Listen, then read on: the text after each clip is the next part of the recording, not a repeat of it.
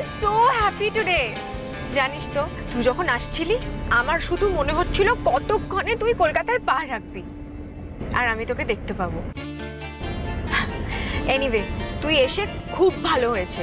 কনভোকেশনটা তুই অ্যাটেন্ড করতে পারলে খুব ভালো হবে। এছাড়াও, আমাদের নার্সিং হোমের যে আরও তিনটে ওপেনিং সেগুলোতেও তুই প্রেজেন্ট থাকলে খুবই ভালো হয়। তাতে কি হবে বলতো? আমাদের ক্যাম্পেইনটা আরও স্ট্রং হবে। আই এম ভেরি এক্সাইটেড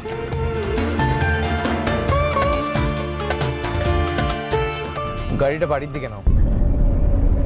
বাড়ি? তুই বাড়ি যাবি? অ্যাপার্টমেন্টে যাবি না? আগে মায়ের কাছে যাব। মায়ের সাথে দেখা করব। ও ওকে।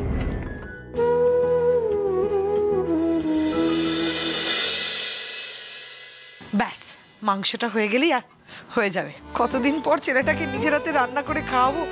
আমার কি যে আনন্দ হচ্ছে। ও মেজো মা কি করছ কি? তাড়াতাড়ি এসো। হ্যাঁ মা। এই তো। রিতম এই রিতম ভাইকে একটা ফোন করে দেখ না এয়ারপোর্ট থেকে নামলো কিনা? সে মনে হয় আজকে তোমার কাছে আসবে না শুক্লা। কলকাতায় ফিরে সে প্রথম তার অ্যাপার্টমেন্টে যাবে। যে অ্যাপার্টমেন্ট আবার অনিশা সাজিয়ে রেখেছে।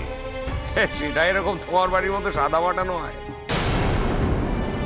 কাজেই ওই ছেলের জন্য যতই ভালো ভালো সুস্বাদু রান্না করো না কেন সেসব তার মুখে রুজবে না। ভেবে দেখো এই কবছরে অনেক কিছু পাল্টে গেছে। আমি একটু আনন্দে থাকি সেটা তোমার সহ্য হয় না তাই না? ছেলের কাছে অত এক্সপেকটেশন রেখো না শুক্লা। পরে নিজেই কষ্ট পাবে আমার আর কি। জয়ের তো আবার ভালো সঙ্গ সহ্য হয় না। অনিশার মতো মেয়ে যার প্রাণের বন্ধু হতে পারে তার কাছ থেকে ভালো কিছু এক্সপেক্ট করাটা বোকা। দেখো তো। এই শোনো, তুমি অনিশার নামে না একটাও বাজে কথা বলবে না। ও ছিল বলেই তো আমার ছেলেটা বেঁচে গেল। ওই মেয়েটা আমার ছেলেটার অবস্থা যা করেছিল, আমি চাই ওরা অ্যাপার্টমেন্টে যাক। শুধু অ্যাপার্টমেন্ট কেন? যেখানে খুশি যাক। ওরা যদি চায় একসাথে থাকবে, বিয়ে করবে, আমি খুব খুশি হব। আমি শুধু চাই আমার ছেলেটা সুখী হোক, ব্যাস। বাই ওয়ে আমাদের নার্সিং হোমে যে চারজন নতুন জুনিয়র ডক্টর অ্যাপয়েন্ট করা হয়েছে আমি নিজে তাদের ইন্টারভিউ নিতে চাই। শিডিউলটা সেভাবে রাখিস। ওকে অ্যাজ ইউ উইশ তাদের রেজাল্ট নিশ্চয়ই চেক করে নেওয়া হয়েছে।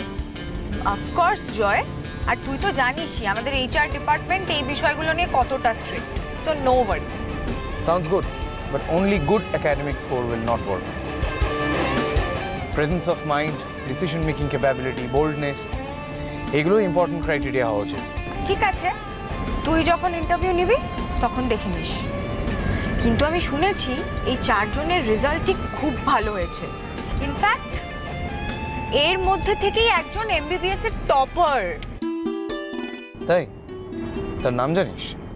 না নো প্রবলেম জেনে নিচ্ছি।